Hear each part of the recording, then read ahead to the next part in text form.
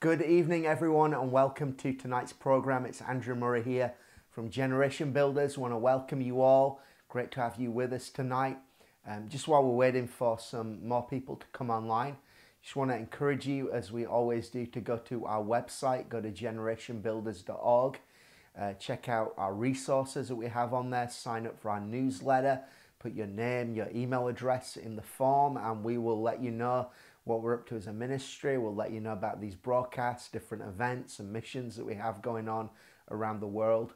Um, remember, if you've not got any of my books, check those out on Amazon. Check out uh, Seeing the Church, The Miracle Table, um, the new book as well, The Sound of Heaven. They're all available on Amazon stores around the world in paperback and on Kindle.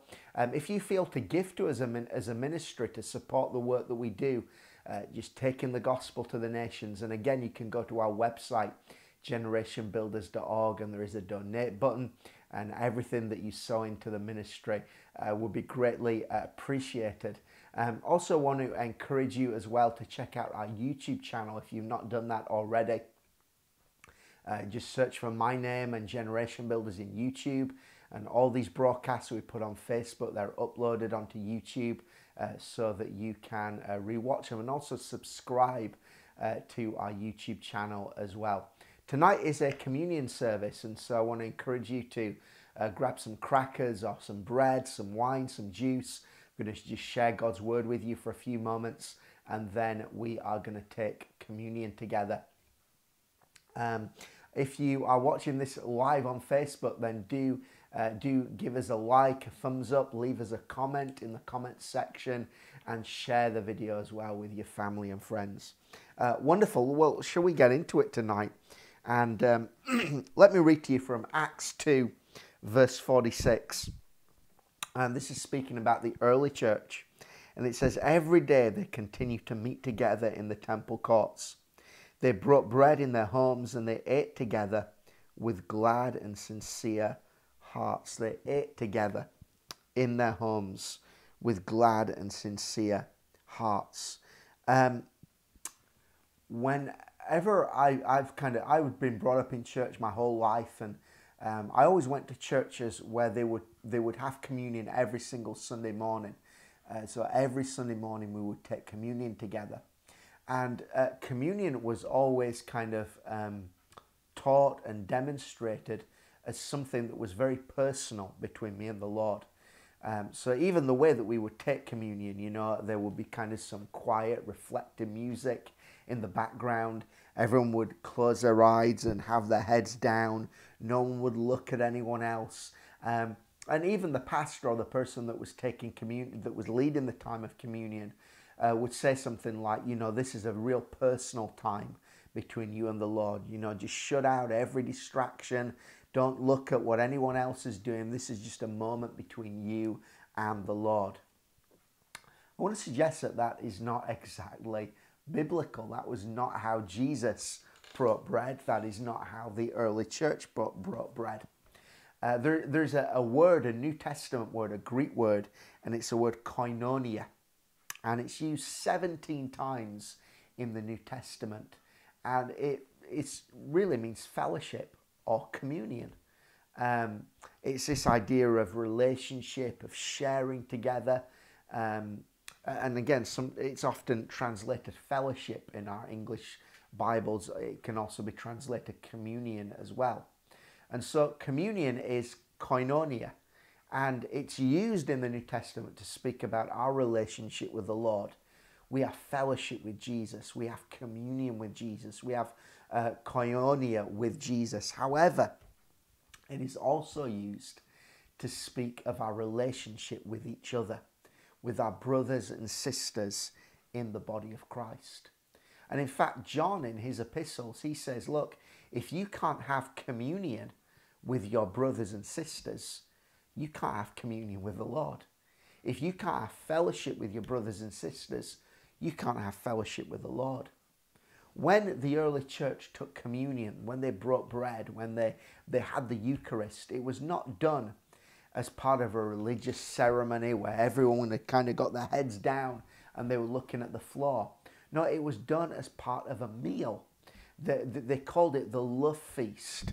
People would come and they would gather together in their homes and they would have a meal together.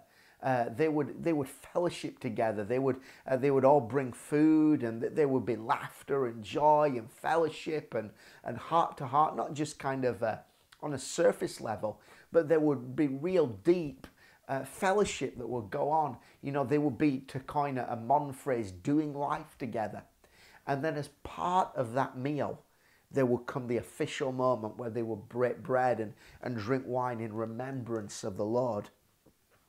Uh, but, but communion for, for the early church, it was not something that was just personal between the believer and the Lord. Um, actually, it was something that was part of a wider fellowship, a wider, uh, uh, wider communion with the body of Christ. For the early church, um, when they met together, it was not done in rows with everyone looking at the pulpit or the stage. No, it, they would be gathered around tables and they would look at each other. They would interact with each other. That's why Paul said when you gather together, someone brings a prayer, someone brings a word, someone brings a tongue, someone brings a song. There was that fellowship aspect, and that is what New Testament communion is all about. Now, in this lockdown that we're currently in, um, many of us, we've been taking communion in our homes, just with our families. And I believe that that is a real powerful thing to do. Uh, you know, we often take communion together in our home, in our family, uh, with our family. Smith Wigglesworth, he used to take communion every day in his home. He said, you know, it was part of living under an open heaven. I believe, you know, we've been looking at, at communion, uh, you know, during these videos. And if you want more, then buy my book, The, the Miracle Table. Communion is multifaceted, it's multi level, and there, there is a part of communion which is very personal between me and the Lord. I use communion to draw closer to the Lord. I use communion uh, to receive healing and, and the anointing of God and, and as part of spiritual warfare. Uh, th- these are all powerful aspects of communion which you can do just on your own or you can do it with, uh, with your family. However, um, that is not the full picture of communion. Really, uh, communion in its fullness can only be done as we gather together in the body of Christ. And one of the uh, the hard things about about lockdown um, is that yeah, we can worship in our homes, we can pray in our homes, we can read the Word in our homes, but we cannot take communion with our brothers and sisters in the body of Christ. And when we come and we gather as the body of Christ and we take communion, we're recognizing I am part of something bigger than me. I am part of a family. I am part of a body. When Jesus, when his body was broken on the cross, his body was given for the whole world. His blood was shed for the whole world. And when we gather as a church and we take communion, I am recognizing I am part of the body of Christ. I am part of something much bigger than me. In fact, something that's much bigger than just my local church uh, or my, my, my small group. I am bigger. There is a, a church, capital C, the global body of Christ. And when we take communion, we are reminding ourselves that I am a part of that corporate body. Now, um, whenever um, we would take communion in church growing up, uh, the, the pastor or whoever was leading the communion would always read the same passage of scripture uh, before, uh, before the, the, the, bread and the wine were distributed. And it's a well known passage um, found in 1 Corinthians 11. Um, these are the, the words of, of the Apostle Paul. He says uh, in verse 23 I received from the Lord what I passed on to you. The Lord Jesus, on the night he was betrayed, took bread. When he had given thanks, he broke it and said, This is my body, which is for you. Do this in remembrance of me. In the same way, after supper, he took the cup, saying, This cup is the new covenant in my blood. Do this whenever you drink it in remembrance of me. For whenever you eat this bread and drink this cup, you proclaim the Lord's death until he comes. Now, so far, so good. I remember, you know, the pastor would read those words and there would just be a great atmosphere in the air. Yeah, we're coming and we're remembering the, the death of Jesus, the cross. But then it'd start to get a little bit heavy as he would read these verses. Therefore, whoever eats the bread, drinks the cup of the Lord in an unworthy manner, will be guilty of sinning against the body and the blood of the Lord. Wow, that's heavy stuff. Uh, so that the pastor would read here that, that it was possible to take communion in an unworthy manner. Um, and, and, in order to do so, you would be sinning against the body and blood of the, of, of the Lord. That's serious stuff. And it goes on to say that, that we have to examine ourselves before we, before we take communion to make sure that we're not doing it in an unworthy manner. And in fact, it goes on to say that some people in the church have got sick and some people have even died because they have taken communion in an unworthy manner. Wow, that's powerful stuff, challenging stuff, isn't it? Is it possible to take communion in a way that is unworthy and it actually cause you to be sick? It actually, premature death could come because you take communion in an unworthy manner. Well, that's what Paul seems to indicate. Now, what is an unworthy manner? That's a pretty important question, right? Because if, if I'm doing it in an unworthy manner, I could die. So I better make sure that I'm not. So I got to know what it is. I remember as a kid, kind of um, during communion, sometimes I would have one eye open. And sometimes I would notice that certain people in the church, when the bread, the wine was brought to them, they would kind of go like this and the servers would kind of there would be like a knowing look and the server would go to the next person. And sometimes on the car ride home i would say to my parents you know why didn't so and so take communion this morning? And uh, you know they would say well they must have sinned this week. Uh, the inference being that taking uh, communion in an unworthy manner was taking communion when there was sin in your life.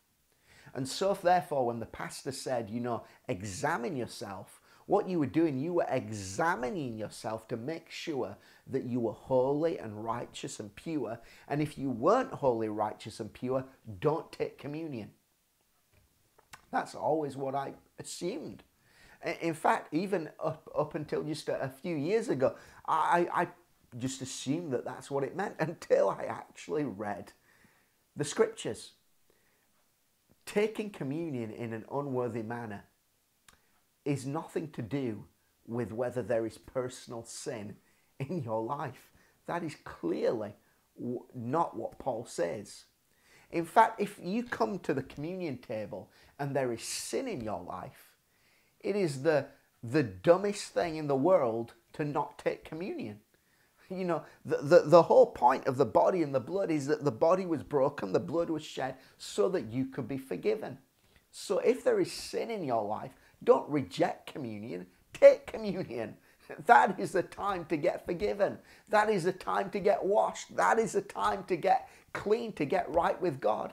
It is the most stupid, it makes no sense whatsoever to, to say you can't take communion if there's sin in your life. No, if there's sin in your life, that's when you should be taking communion. That's when you should be getting right with God. So, what does it mean to, um, to, to take the, bread in an unworthy manner? Well, Paul clearly tells us in verse 29 anyone who eats and drinks without recognizing the body of the Lord eats and drinks judgment on himself. Paul tells us very clearly what eating in an unworthy manner is. It's nothing to do with, you know, is there sin in my life? It's this it's eating communion or drinking the wine without recognizing the body of Christ. What is the body of Christ? It's the church. It's what Paul tells us, right? The body of Christ is a church.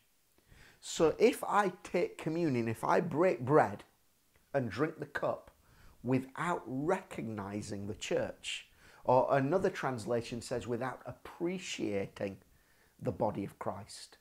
In other words, if I make this just all about me and the Lord, but I don't recognize, I don't appreciate the church, the body of Christ, then I am eating and drinking in an unworthy manner. Because the body and the blood, it speaks about our unity, our fellowship. Christ died not just for me, but for his church, his body, his bride. And so to reject his church is to reject him, to reject his sacrifice. And actually, the whole context of 1 Corinthians 11, you have to read the preceding verses. Because what, what Paul says, he says in verse 20, when you come together, it's not the Lord's Supper you eat. For as you eat, each one of you goes ahead without waiting for anybody else. One remains hungry, another gets drunk. Don't you have homes to eat and drink in, or do you despise the church of God and humiliate those who have nothing? Look at what Paul's saying here. Remember, communion for them was part of a meal. And, and the, the, the implication being that everyone would come to and they would get their plates and they would put the food on their plates. And some people were so greedy and so selfish that they would pile all the food on their plates and they would leave nothing for the, for the other people. And some of those people were, were poor. Some of those people didn't have a, a meal at home. And so these people were feeding themselves and others were going without. These people were drinking the wine so much they were getting drunk, and there was nothing left for anyone else. It was all about them. Church was all about them, and they were rejecting their brothers and sisters. They were rejecting the church. They were rejecting other people, the needy. Paul says, Don't you realize when you take communion like that, you're reading judgment upon yourselves? That's why some of you are sick. That's why some of you are dying. Not because you've taken communion and you're not right with God, but because you've taken communion and you're not right with others. Isn't that what Jesus said in the Sermon of the Mount? When you come to the altar to worship God, if you've not yet gone and reconciled with your brother, then, then you don't bring your gift to the altar. God will reject it. It's exactly the same principle eating the cup in an unworthy manner is not really to do with my, me and my relationship with the Lord. It's to do with my relationship with you. If there's unforgiveness in my heart, if there's bitterness in my heart, if there's pride in my heart, if there's selfishness in my heart, if if uh, you know there's hatred towards a brother or sister, or if I come to church with an attitude, this is all about me, you know, I'm here to get my needs met. I'm here to get my needs, my I'm here to get fed myself. You know, how many times do people they go from church, oh, I didn't get fed this morning, or I didn't like the worship this morning, or, you know, I'm not being used. They think that church is all about them getting an opportunity. You know, my ministry isn't recognized. You know, I'm never used in this church. It's me, me, me, me, me. And then we come take communion which is all about God so loved the world. His body was, was given for the many, His blood was shed for the many. Paul says, when you come like that, you're reading judgment on yourselves. You're reading in an unworthy manner. You, you are not recognizing or appreciating the body of Christ. In chapter 10 and verse 17, Paul says, because there is one loaf. We who are many are one body, for we all partake of the one loaf. This is what Paul is, is showing us what communion is about. It's about us recognizing the body. When we take communion, we are recognizing our need for the body of Christ. I need pastors. I need leaders. I need fellowship. I need to worship corporately. I need uh, the ministry that others in the body of Christ can, can wash my feet with. I need to hear the apostles' teaching. I need to be part of something that is bigger than me. And that is what I am recognizing every time I take communion. When I take communion, I am it's, a, it's an opportunity not just to get right between me and the Lord, but to get right with my brothers and sisters. If there's any offense, if there's any bitterness, any jealousy, I got to get that right. I got to get that sorted before I take communion. So we're going to take communion right now and we're going to thank God for the body of Christ. Now, it may be that you're watching this today and you have been hurt by the body of Christ. Maybe a brother or a sister mistreated you. Maybe a pastor or a leader mistreated you. Such a, a terrible thing to happen. But remember what we read? It says of Jesus, on the night he was betrayed, he brought bread. On the night he was betrayed, he took the cup. Jesus was betrayed by one of his very own disciples, one of those that he had invited into fellowship with him, had betrayed him. What was Jesus' response? Was it to walk away from fellowship? Was it to get angry? Was it to get bitter? Was it to, was it to allow his heart to become hard? No, it was to take communion. If you have been hurt, if you have been betrayed, if you have been damaged by the body of Christ, the best thing you can do is take communion. And as you break the bread, thank God for his body. As you take the cup, say, Lord, wash my old heart, soften my old heart. The love that you have that caused you to shed your blood, that said, Father, forgive them, even to the ones that nailed you. Let that same love be in my heart. As we take communion, it's an opportunity to rejoice with those in the body of Christ that rejoice, and to grieve with those that grieve, and to hurt with those that hurt, and to mourn with those that mourn. It's not about me or you, it's about His body. Lord, we thank you for your body that was broken. Thank you, Lord, that we are part of the body of Christ. Thank you, Jesus.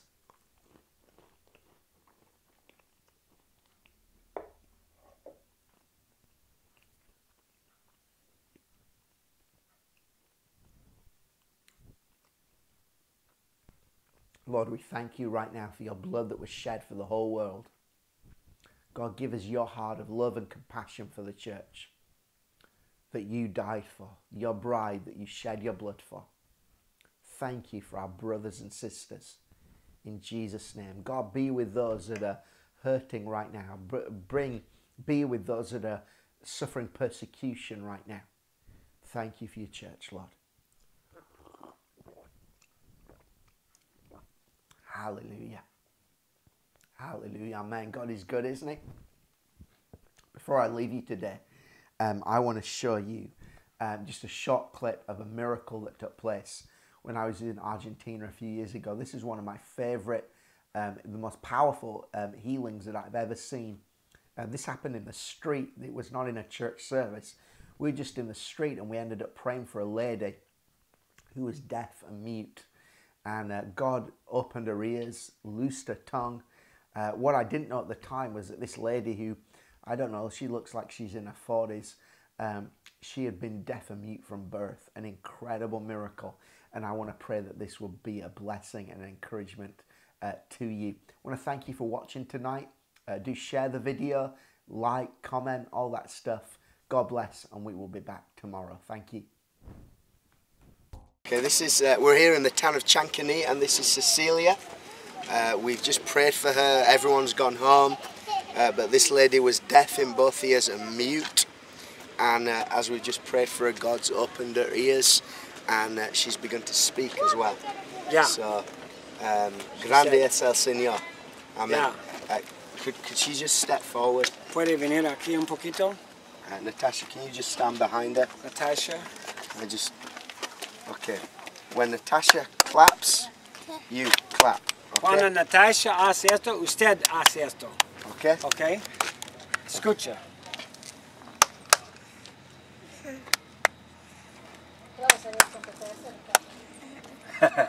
Hallelujah. Okay. Say Jesus. Dice Jesús. Jesus. Dice Jesús. Paul Jesus. Jesús. no habla.